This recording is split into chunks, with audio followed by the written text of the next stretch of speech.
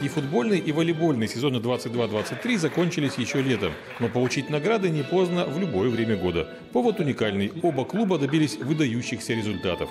Сезон прошел отлично. За два тура до конца решили задачу, и все были очень рады.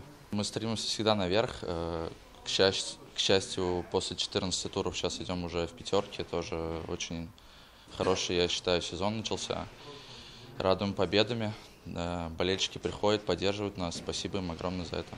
Если болельщики отвечают за эмоциональную поддержку команды, то руководство региона – важная составляющая поддержки финансовой. Футбол, волейбол – это командные виды спорта.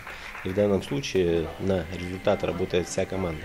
Команда всей области – это команда игроков, команда тренеров, это команда правительства, это наш губернатор, вот, это команда болельщиков, э, которые очень переживают, следят, болеют, поддерживают наших игроков. И именно от всей этой э, большой команды зависит и конечный результат. И в данном случае все, что касается правительства Тюменской области, нашего губернатора, э, то для этого делается абсолютно все.